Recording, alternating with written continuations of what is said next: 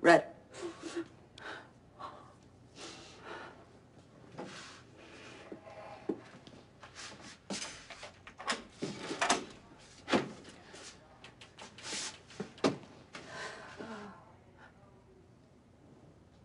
It's my fault.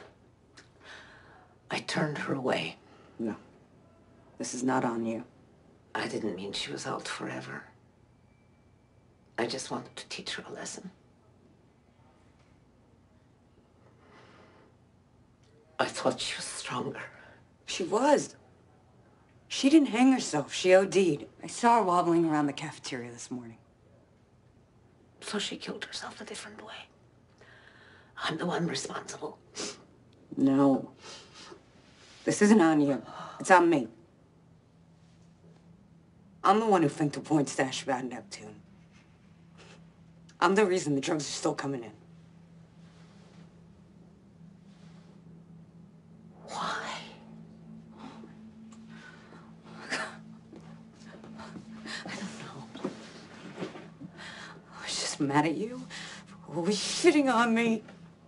I only sent Trish to detox because I thought they would start an investigation to put an end to all of this. I didn't know that. You were right to not trust me. Nicky, I trust you more than anyone. I always have. I do now more than ever.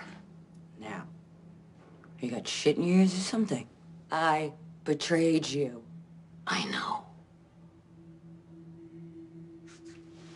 And that's why I trust you. Because I know you'll do whatever it takes to make things right for Tricia. I was stupid to think this prison would ever look into things.